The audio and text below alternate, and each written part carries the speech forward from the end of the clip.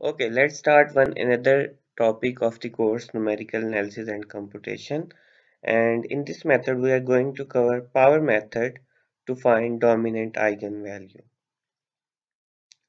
So first of all, let's learn what are eigenvectors and eigenvalues. For some square matrix A of dimension n cross n, eigenvalues and eigenvector make this equation true which means eigenvector is a special kind of vector of a matrix A that if we apply matrix A on that vector, we will get that vector again with some scaling factor lambda. So this special vector is going to be eigenvector and the scaling factor is known to be eigenvalue. This is the graphical demonstration of this thing. Okay, let's take an example. For example, this square matrix of dimension 2 cross 2 has some eigenvectors v1 and v2. v1 is its eigenvector and v2 is its eigenvector also with eigenvalues lambda 1 minus 2 and lambda 2 3. So why these v1 and v2 are eigenvector of this matrix A? You can clearly see if I multiply the A matrix with the first eigenvector, I will recover that eigenvector again with some scaling factor and it is in this case is negative. So this scaling factor is the eigenvalue and v1 is surely the eigenvector because I am recovering it after multiplying it with A. And for the second one, the eigenvector 1 1 is the eigenvector because if I apply the matrix a on it, I will recover this vector again with some scaling factor and this scaling factor is 3 this time. So 3 is the eigenvalue of this corresponding eigenvector. Now our concern is to learn an algorithm which will directly target the dominant eigenvalue of some matrix A. Dominant eigenvalue will be the largest eigenvalue of some matrix in absolute sense. For example, a 3 cross 3 matrix, if a 3 cross 3 matrix has 3 eigenvalues, then the largest one of them in absolute sense is going to be dominant eigenvalue.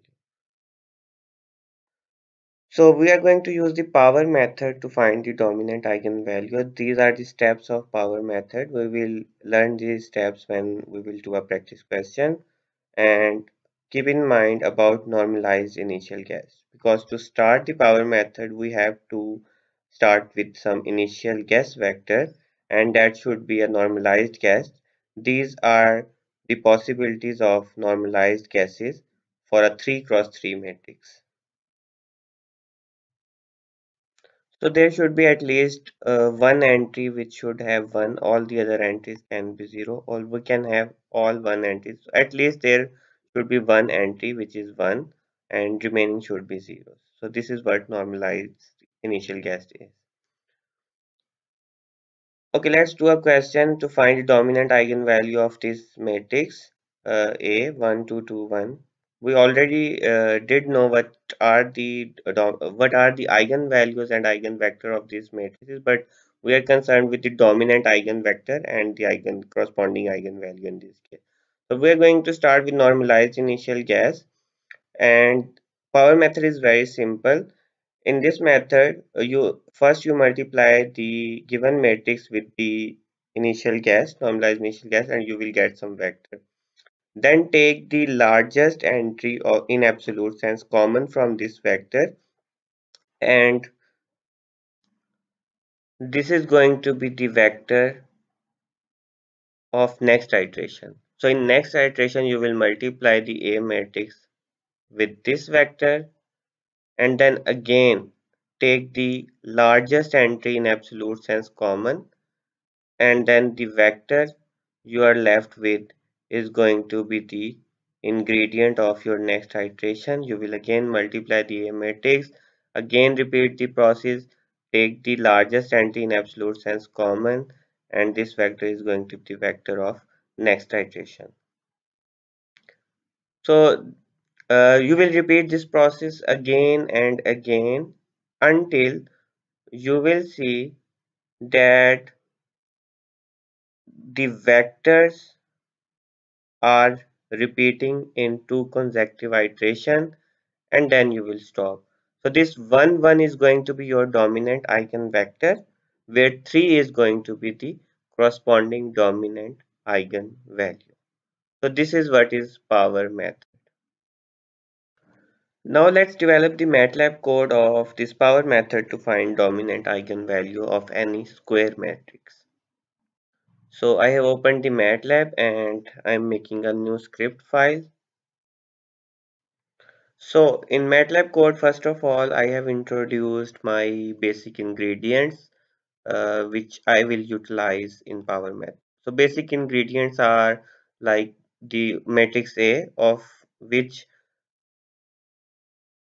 I'm interested to find the dominant eigenvector and the corresponding eigenvalue and V is going to be the normalized initial guess vector. So these two are the basic ingredients as you can see from here too.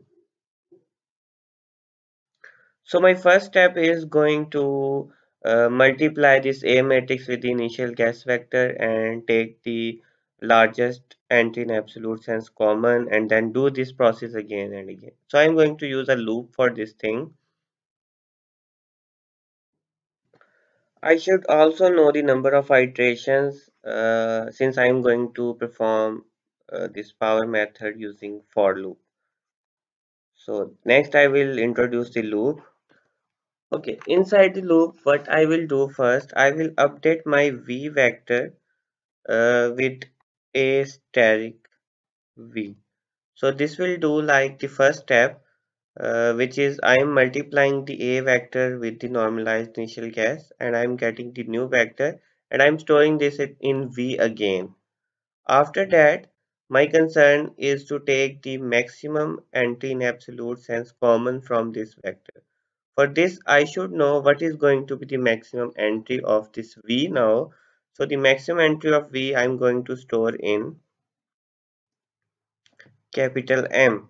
So in capital M I am taking the maximum entry in absolute sense of this new V.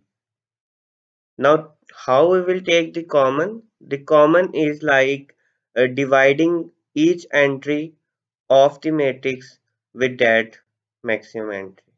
Like divide each entry of the vector V with that maximum entry this is how you will take the common. Okay, there is no restriction of taking the maximum entry in absolute sense common. You can also take the maximum entry common and power method will converge in this case. What I'm saying is if your vector will going to be like this and your this algorithm will take the minus 2 common from it since it is not taking the maximum entry in absolute sense common.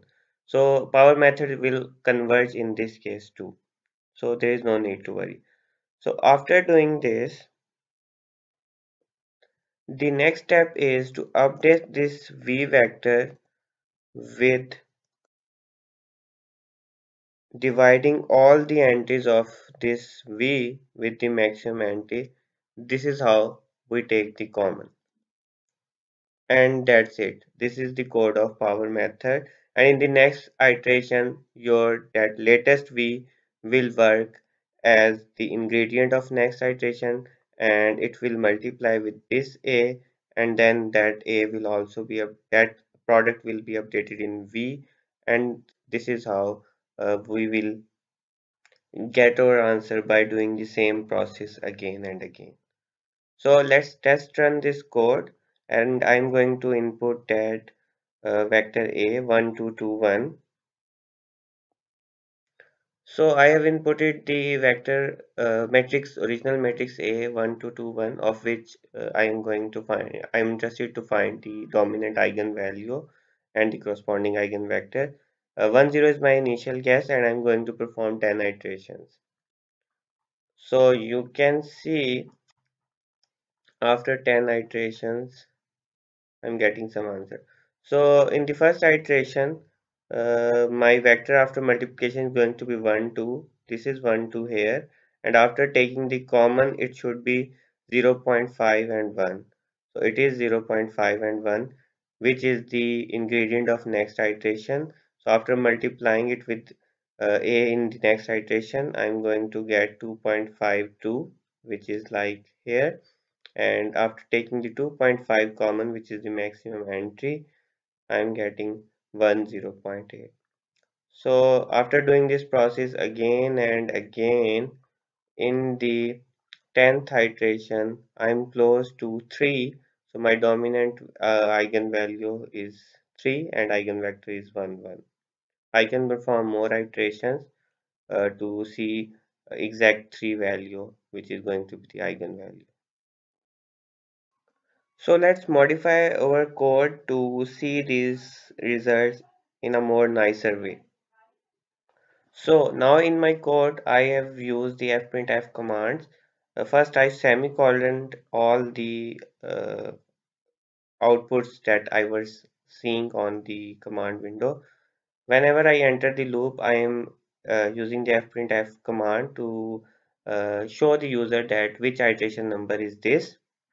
And after that, when I am getting the uh, results of that iteration so i am showing the user that current eigenvalue what is current maximum value of that vector and what is that vector actually. So the current eigenvalue and current eigenvector i am showing this to user. So let's run this code now. So after running this code uh, i am seeing uh, the outputs in more nicer way. So this is going to be iteration number one and in the iteration number one current eigenvalue is 2 and current eigenvector is this V and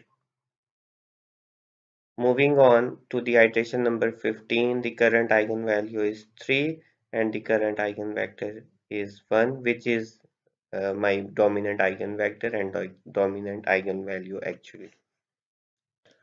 Now I'm going to modify this code uh, with some stopping criteria that if I find my uh, I dominant eigenvalue and eigenvector, the code should not do the further iterations and the loop should break in that case.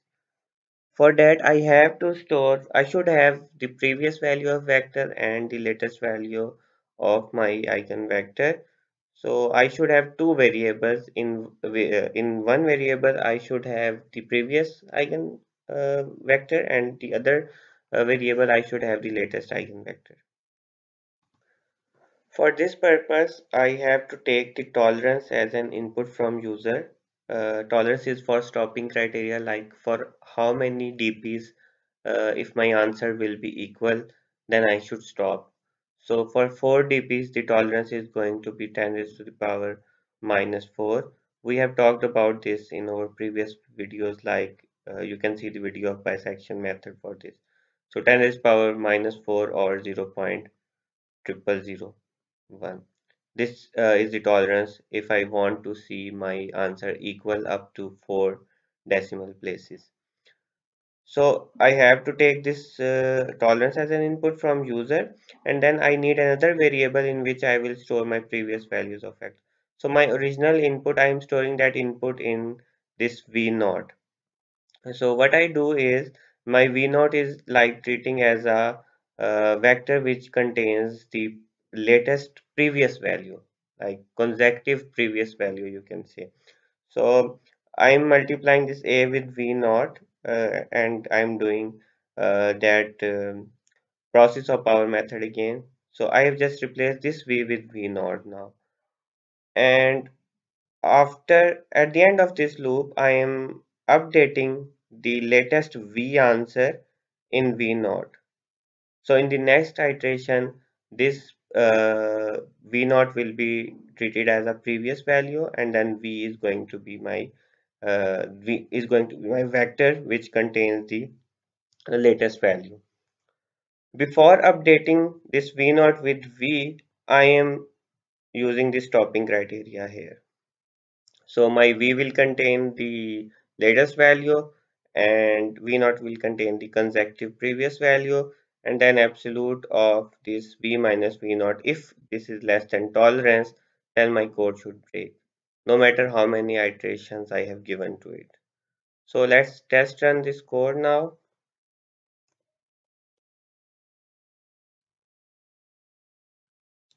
So I'm giving that same matrix again with same initial guess and I'm giving 30 iterations with this tolerance.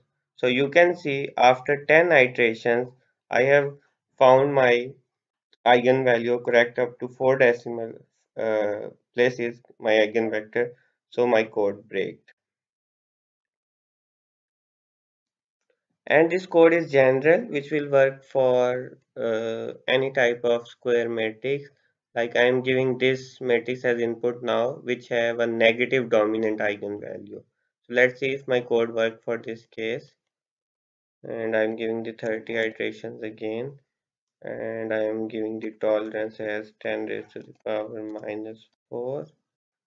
And you can see the my code found the dominant eigenvalue and the eigenvector in six iterations. Uh, this is it. This is all about uh, the power method to find the dominant eigenvalue and the corresponding eigenvector. See you people in next video.